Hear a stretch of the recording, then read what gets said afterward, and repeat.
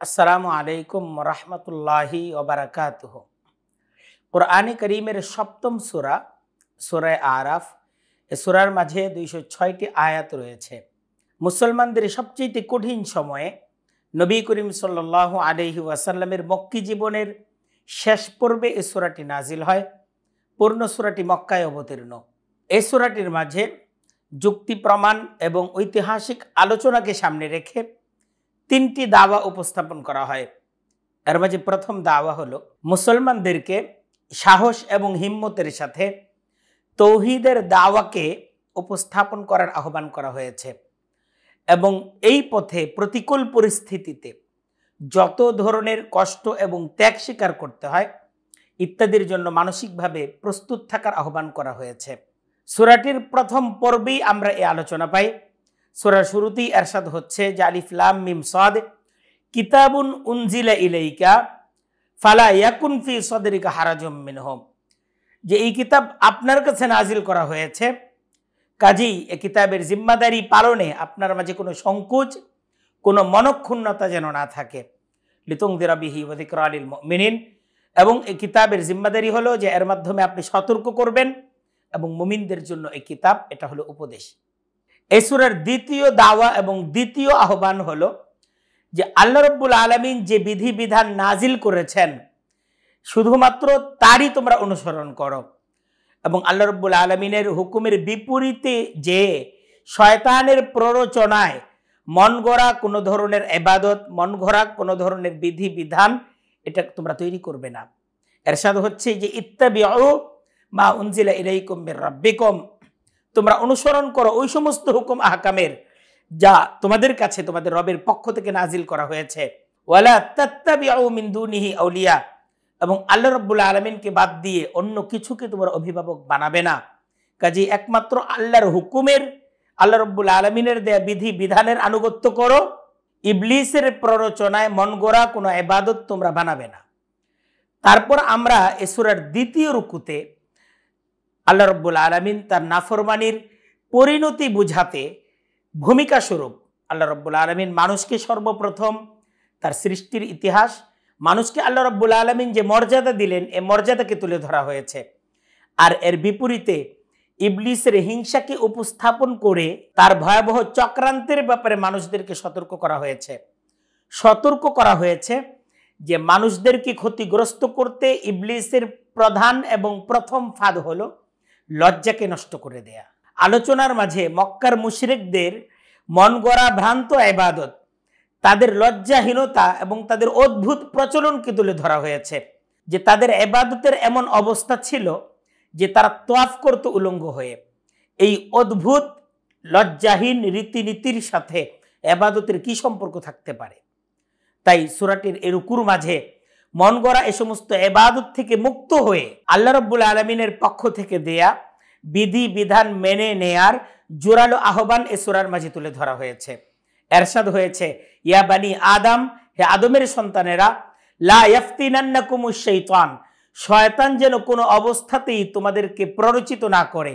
কামা আখরাজা আবাওয়াইকুম মিনাল জান্না যেমনিভাবে সে তোমাদের পিতামাতা আদম এবং হাওয়াকে জান্নাত থেকে বের করে এনেছিল। ইয়ানজি আনহুমা লিবা সাহমা সে তাদের থেকে তাদের পোশাককে খুলে দিয়েছিল।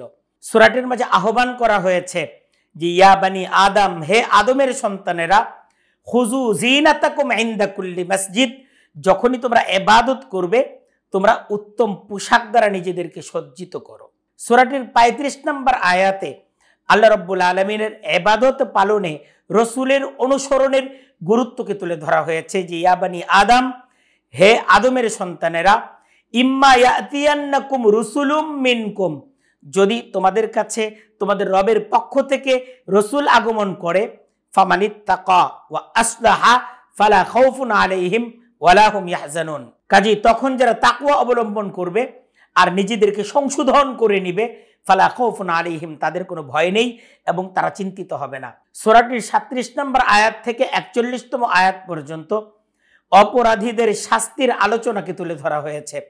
বলা হয়েছে, দুনিয়াতে প্রত্যেকটি ব্যক্তি তার বন্টন অনুযায়ী সে তার রিজিক প্রাপ্ত হয়। একজন ব্যক্তি সে যত বড় কাফের হোক, তার তকদির, তার বন্টন অনুযায়ী রিজিক তার পর্যন্ত পৌঁছবে কিন্তু আল্লাহ রব্বুল আলমিন আখেরাতে, পরকালে প্রত্যেকটা ব্যক্তির সাথে আল্লাহ রব্বুল আলমিনের আচরণ, এটা তার আমলকে কেন্দ্র করে হবে। সুরাটির এই পর্বে এসে জান্নাতি এবং জাহান্নামি তাদের পরকালীন অবস্থাকে তুলে ধরে আল্লাহ রব্বুল আলমিন তাই স্পষ্ট করে দিয়েছেন যে জান্নাতি আর জাহান্নামি তাদের সাথে আল্লাহ রব্বুল আলমিনের আচরণ কোনো অবস্থাতেই একরকম হবে না। সেই দিন অবিশ্বাসীদের সাথে আল্লাহ রব্বুল আলমিনের আচরণ, এটা সহানুভূতির হবে না। বেইমানরা সেদিন চরমভাবে ক্ষতিগ্রস্ত হবে। কাজী মন গড়া এবাদত ছেড়ে এ সোরার মাঝে আহ্বান করা হয়েছে যে আল্লাহ রব্বুল আলমিনের পক্ষ থেকে যে বিধি বিধান আল্লাহ রসুল পাঠিয়ে এবাদতের যে পদ্ধতি আল্লাহ রব্বুল আলমিন দিয়েছেন, আমরা যেন সেই পদ্ধতিরই অনুসরণ করি। সোরাটির চুয়ান্ন নম্বর আয়াতে সোরার তৃতীয় আহ্বান, তৃতীয় দাওয়াকে তুলে ধরা হয়েছে যে একমাত্র আল্লাহ রব্বুল আলমিনের কাছে প্রার্থনা করো। কারণ এই জগতে নিরঙ্কুশ ক্ষমতা একমাত্র তার। আর আল্লাহ রব্বুল আলমিন তার ক্ষমতা অন্য কাউকে হস্তান্তর করেননি, কাজেই অন্য কাউকে না।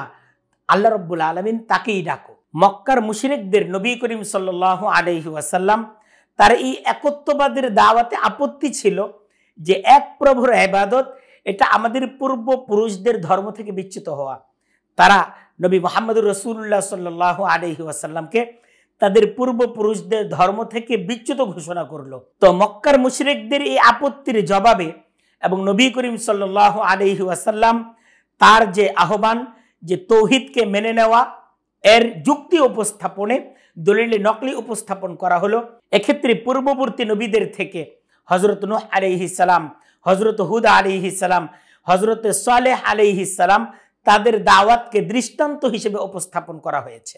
এ সমস্ত নবীদের দাওয়াত ছিল, তোমরা এক আল্লাহর কাছে প্রার্থনা করো, তিনি ছাড়া প্রয়োজন পূরণকারী আর কেউ নেই। কোরআনে করিমের এই সুরার মাঝে আল্লাহ রব্বুল আলমিন এরশাদ করছেন, লাকাদ আরসাল না নুহান ইলা কৌমিহি অবশ্যই নোহকে আমি রসুল করে তার কৌমের কাছে পাঠালাম ফকারা আর তিনি তার কৌমকে এ দাওয়াত দিলেন, ইয়া কৌম ও আবুদুল্লাহ হে আমার সম্প্রদায়, তোমরা আল্লাহর দাসত্ব, আল্লাহর গুলামি গ্রহণ করো। মালাকুমিন ইলাহিন গাইরু আল্লাহ রব্বুল আলমিন ছাড়া তোমাদের প্রয়োজন পূরণকারী ইলাহ আর অন্য কেউ নেই। এই একই দাওয়াত ছিল হজরত হুদা আলী ইসালামের এবং একই দাওয়াত ছিল হজরত সালেহ আলী ইসালামের সোরাটির আশিতম আয়াত থেকে হজরত লুত আলী ইসালামের সম্প্রদায়ের আলোচনা করা হয়েছে। আর পঁচাশিতম আয়াত থেকে হজরত সোয়াইব আলী ইসালামের সম্প্রদায়ের আলোচনা করা হয়েছে। আর এ সমস্ত আলোচনা দ্বারা আল্লাহ রব্বুল আলমিনের অবাধ্যতার ভয়াবহ পরিণতিকে তুলে ধরা হয়েছে। আর তাদেরকে আল্লাহ রব্বুল আলমিন তাকে ভয় করার প্রতি আহ্বান করা হয়েছে। সোরাটির একশো তিন নম্বর আয়াত থেকে একশো বাষট্টিতম আয়াত পর্যন্ত এই আয়াতগুলোর মাঝে হজরত মুসা আলী ইসালাম তার নবুতি জিন্দিগির আটটি ঘটনা উপস্থাপন করা হয়েছে। এর প্রত্যেকটি ঘটনা তৌহিদ প্রতিষ্ঠায়, তৌহিদ প্রচারে হজরতে মুসা আলী ইসালাম তার দৃঢ়তার নমুনা এবং তার সাহসিকতাকে তুলে ধরা হয়েছে এবং এই আহ্বান করা হয়েছে যে তৌহিদ প্রচার এবং তৌহিদ প্রতিষ্ঠায় নানা ধরনের প্রতিকূল পরিস্থিতি মোকাবেলা করতে হবে। আর এ সমস্ত পরিস্থিতির মোকাবেলায় সাহস এবং হিম্মতের সাথে নিঃসংকোচে তৌহিদের এ আহ্বান এটাকে সমাজের মাঝে তুলে ধরতে হবে। এ সমস্ত ঘটনাগুলোর মাঝে হজরত মুসা আলী ইসালাম ফেরাউনের ভরা মজলিসে তিনি ফেরাউনকে লক্ষ্য করে যে তৌহিদের দাওয়াতকে উপস্থাপন করেছিলেন। তিনি লক্ষাধিক জাদুকরদের মোকাবেলায় যে সাহসী ভূমিকা পালন করেছিলেন আর ফেরাউনের সীমাহীন নির্যাতনের মোকাবেলায় তার যে দৃঢ়তা ছিল এবং নিজ সম্প্রদায়ের উশৃঙ্খলতার মোকাবেলায় তিনি যে ধৈর্য শক্তি প্রদর্শন করেছিলেন। এ সমস্ত ঘটনাগুলো তুলে ধরা হয়েছে। সুরাটির একশো উনসত্তর নম্বর আয়াত থেকে এ আলোচনা তুলে ধরা হয়েছে যে আল্লাহ রব্বুল আলমিনের পক্ষ থেকে যে বিধি, বিধান আল্লাহ রব্বুল আলমিন নাজিল করেছেন, মুক্তির জন্য এ সমস্ত বিধি, বিধানগুলোর অনুসরণ করতে হবে। আল্লাহ রব্বুল আলমিনের অবাধ্যতার পথে মুক্তি আসবে না। ইহুদিদের অন্যায় দাবি যে সাইয়ুগ ফারুলানা নাহনু আবনা উল্লাহ আহিব্বা ও আমরা আল্লাহ রব্বুল আলমিনের প্রিয় পাত্র। আল্লাহ রব্বুল আলমিনের পক্ষ থেকে আমাদের সমস্ত অপরাধকে মার্জনা করে দেওয়া হবে। অত্যন্ত যুক্তির সাথে তাদের এ ভ্রান্ত দাবি এটার জবাব দেওয়া হয়েছে। এ কথাকে স্পষ্ট করা হয়েছে যে মন গড়া পদ্ধতিতে এবাদত করে মুক্তির আশা করা এটা ভুল এবং এটা নির্বুদ্ধিতা। সুরাটির শেষে আহ্বান করা হয়েছে, হাদা বা সোয়া ইরুমির রব্বিকম। যে এ কোরআন তোমাদের রবের পক্ষ থেকে তোমাদের কাছে আসা জ্ঞান ভান্ডার কাজেই বলা হয়েছে ওয়াইদা কুরি আল কোরআন যখন কোরআনকে তেলাওয়াত করা হবে ফাস্তামি আউলাহ মনোযোগ সহকারে কোরআনকে শ্রবণ করো ও আনসিতু এবং তোমরা চুপ থাকো। সুরাটির শেষে দুইশো পাঁচ নম্বর আয়াতের মাঝে আহ্বান করা হয়েছে ওয়াদকুর রব্বাকা ফি নাফসিকা তাদররুআন ওয়া খিফাতান ওয়া দুনাল জাহরি মিনাল কৌলি বিল গুদুবি ওয়াল আসাল ওয়ালা তাকুম মিনাল গাফিলিন যে সর্বাবস্থায় সকল পরিস্থিতিতে তোমরা আল্লাহ রব্বুল আলমিন তার কাছে প্রার্থনা করো, আল্লাহ এবং তোমার মাঝে কোনো মাধ্যম রাখা ছাড়া। কাজেই আসুন আমরা সুরায় আরাফের এই দাওয়াকে উপলব্ধি করি এবং তৌহিদ প্রচার এবং তৌহিদ প্রতিষ্ঠায় আমরা সাহসী ভূমিকা পালন করি এবং আল্লাহ রব্বুল আলমিনের পক্ষ থেকে আমাদের জন্য যে চমৎকার বিধিবিধান তিনি আমাদের জন্য দিয়েছেন, আমরা এ সমস্ত বিধিবিধানের উপর আমাদের জীবনকে গড়ে তুলি।